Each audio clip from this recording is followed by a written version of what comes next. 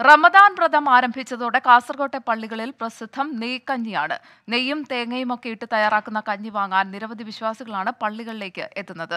നോമ്പ് തുറക്കാനുള്ള സമയമാകുമ്പോഴേക്കും യാത്രക്കാർക്ക് പഴങ്ങളും നൽകും. അല്ലാഹു അക്ബർ അല്ലാഹു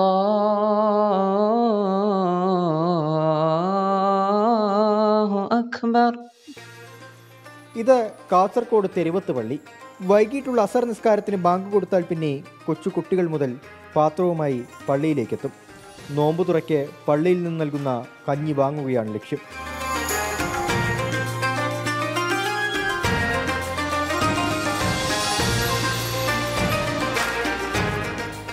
പാവങ്ങൾക്ക് ഇല്ലാത്തവർക്ക് കഞ്ഞി വേണ്ടി തുടങ്ങിയതാണ് ഇപ്പോൾ എല്ലാവരും ഇത് ചീർണിയായിട്ട് കഴിക്കലുണ്ട് അലഹമില്ല ഇത് കഴിച്ചവർക്ക് ഇന്ന് കൊണ്ട് ചിഫക്ക് സുഖമില്ലാത്തവർക്ക് സുഖം കിട്ടാൻ വേണ്ടിയിട്ട് കഴിക്കലുണ്ട്.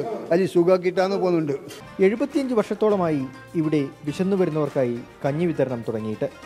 ആദ്യം പുഴുക്കലരിയും തേങ്ങയും മാത്രമിട്ട് തയ്യാറാക്കിയ കഞ്ഞി പതിനഞ്ച് വർഷങ്ങൾക്ക് മുൻപ് നെയ്യും തേങ്ങയും പയറും ജീരകവും ഒക്കെ ഇട്ട് മാറ്റങ്ങൾ വരുത്തി. ഇവിടുത്തെ നെയ്ക്കഞ്ഞ ഒരു പ്രത്യേകതയാണ്. ഇവിടുത്തെ പ്രത്യേക ടേസ്റ്റാണ്.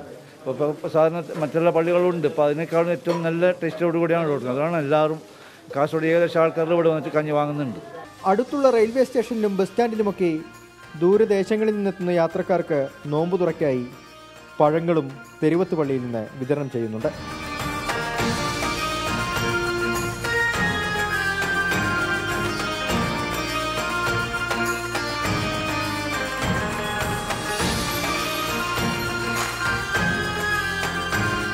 Twenty four Kasaragod.